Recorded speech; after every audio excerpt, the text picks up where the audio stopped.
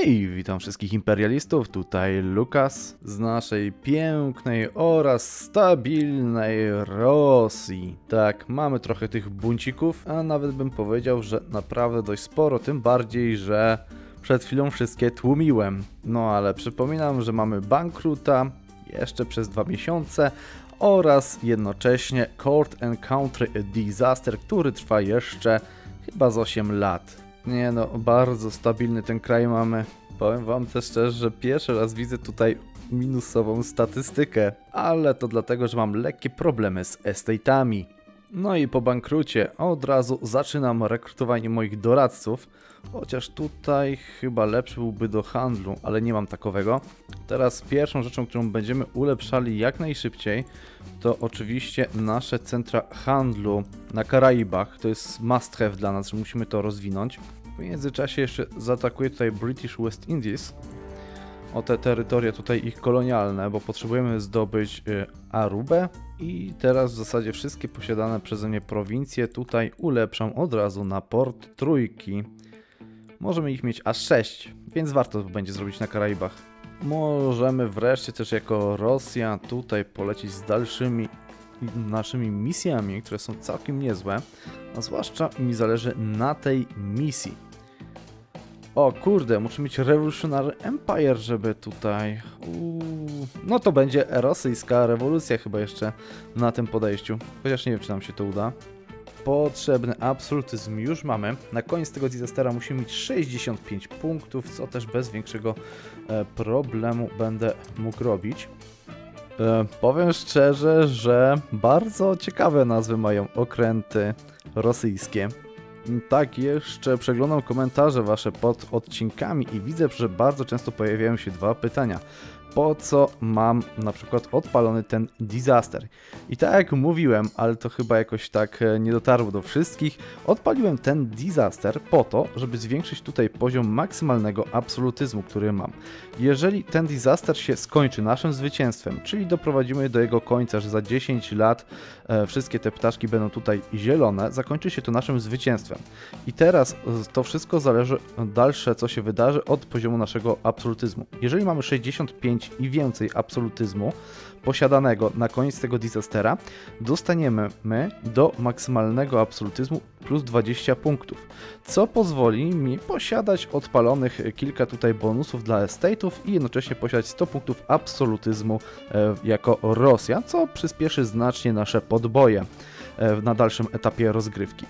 E, kolejna sprawa to bardzo często się dziwicie, że wypowiadam tutaj wojnę państwom kolonialnym, tak?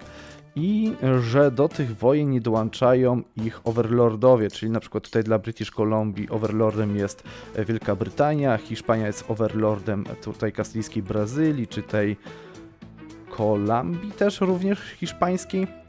I dlaczego oni nie bronią swoich kolonii? Jest to zwykła mechanika paradoksu, która, po, e, która powoduje, że jeżeli macie stolice w regionach kolonialnych, czyli Ameryka Północna, Południowa, tutaj są tylko te dwa regiony kolonialne, E, takie duże, tylko i wyłącznie na tych kontynentach, są regiony kolonialne, e, to możecie toczyć tak zwane wojny kolonialne.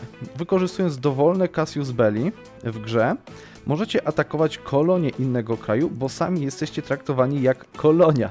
Tak, ta Rosja jest traktowana przez grę jak kolonia, więc możemy sobie tutaj to wszystko e, podbić i nie będzie to żadnego problemu z tym związanego.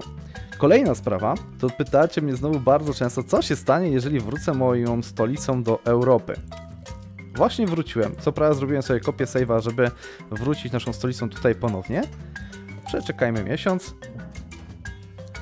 No i niestety, jak widzicie, powstaną państwa kolonialne, czyli odwrotnie do tego i mi się wydaje, że coś tutaj zostało zmienione na patchu 1.30, bo na patchu 1 29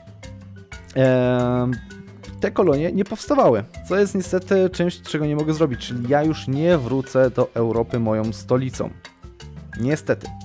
No ale dałbym głowę, że na jednym z poprzednich patchów na 1.28 albo na 1.29 dało się tak e, zrobić i tutaj te prowincje nie były korowane z powrotem, tu, znaczy tutaj te prowincje nie zmieniały się w kolonie. Swoją drogą, gdy można też zrobić sobie takie podejście, bo naprawdę bardzo szybko się kolonizuje tutaj tą Rosją, że zdobywamy te prowincje, wracamy z powrotem do Rosji i mamy państwa kolonialne, co też jest niezłą taktyką na Rosję i wydaje mi się, że może być ciekawe. No ale na tym podejściu robimy sobie one taga, czyli nie mogę wrócić do tutaj naszej Ros Russian Russia, tak przez Was ulubionej, bo widzę, że też często pojawia się to w komentarzach, więc macie tutaj, możecie sobie popatrzeć na Russian Russia, a my niedługo będziemy tutaj znacznie lepiej podbijali.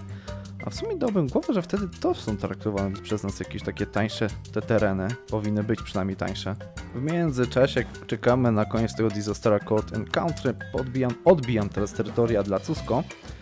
I tak jak mówiłem, tutaj myślę, że dużo tych terytoriów pójdzie realnie dla naszych wasali. Teraz w tej Ameryce Południowej. I mamy właśnie koniec tego eventu. A end of coś tam Bitter Count and Country Hostilities. A, dobra, wrogości. No i mamy dodatkowe 15 punktów prestiżu. Maksymalny absolutyzm został zwiększony o 20%, co daje, że Rosją możemy mieć 108 punktów maksymalnego absolutyzmu, czyli maksymalnie 110 punktów, czyli jeszcze jakieś dwie tutaj polityki mogę sobie odpalić jako Rosja. W zasadzie to przywileje. I pewnie będą to właśnie do Gaveringu. Nie ukrywam, ten event dla mnie jest wyjebisty. Uwielbiam ten moment, kiedy mamy skapowane punkty, minus 20% kosztów do technologii, 100% nabitych e, tutaj Spy Network na jakimś kraju, który ma rozwiniętą tę technologię znacznie bardziej od nas i możemy wprowadzać inną technologię za 200 punktów. I prawie nadrobiliśmy za tysiaka zaległości. No ale to też już zaraz wprowadzimy. Mm, Kolejną ideę wziąłem ofensywną i za chwilę będę kasował religijną i tu weźmiemy humanistyczną. Dlatego, że zaraz będziemy mieli 23 poziom technologii, więc e, religijna przestaje być dla nas jakkolwiek użyteczna. A nie planuję robić tutaj na tym podejściu jednej wiary, więc humanizm nam się o wiele bardziej przyda. Cusko troszeczkę się zwiększyło. Póki pamiętam, jeszcze zmieniłem im teraz religię i w sumie podbijemy jeszcze nową Grenadę, British Columbia oraz Spanish Columbia przed zaatakowaniem ciebie. Ty badziewiu, co piracisz mi cały czas prowincję. Bo wtedy wbijemy się również na wyspy. Jest to dla nas super ważne. Bardzo mnie ciekawi, w której mojej prowincji mam zoroastriańską wiarę, że dostałem takiego doradcę. Też zachodnie wybrzeże jeszcze sobie pozwolę tutaj podbić, bo mogę przecież, prawda? Oj, tego jest więcej tu. Uuu. No to zjadam chyba cały kraj. No i tutaj nasze wybrzeże już jest dużo ładniejsze, ale niespokojniejsze. No i napis mamy też już dużo większy. A teraz tutaj w międzyczasie szykowałem naszą inwazję na Wyspy Brytyjskie, bo będziemy je atakowali, a zaatakujemy przez e, sojusz z New Providence, bo to mi piraci cały czas tutaj wszystkie te prowincje, więc muszę się tych piratów jak najszybciej stąd pozbyć. Ale to zobaczcie w kolejnym odcinku. Dzięki Wam dzisiaj za oglądanie, mam nadzieję, że się podobało. Pamiętajcie, żeby zostawić lajka, napisać jakiś pozytywny komentarz, bo to jak wiecie motywuje do dalszego nagrywania Europki, bo ile można! A nie, dobra, Europkę mi się zawsze przyjemnie nagrywało, więc mogę to robić cały czas, nawet jak nie będziecie komentowali i lajkowali. Trzymajcie się, życzę Wam miłego dnia, hej! Pamiętajcie, że z kodem Lukas możecie dostać 3% zniżkę na stronie eneva.com, gdzie i tak jak widzicie są strasznie przecenione dodatki do Europy Universal 4, a sklep jest niezawodny. Linki do tego wszystkiego macie w opisie tego filmu. Jeżeli film Wam się spodobał, pamiętajcie, żeby zostawić lajka oraz jeżeli chcecie być informowani o moich odcinkach, zostawcie dzwoneczek. Na wszystko!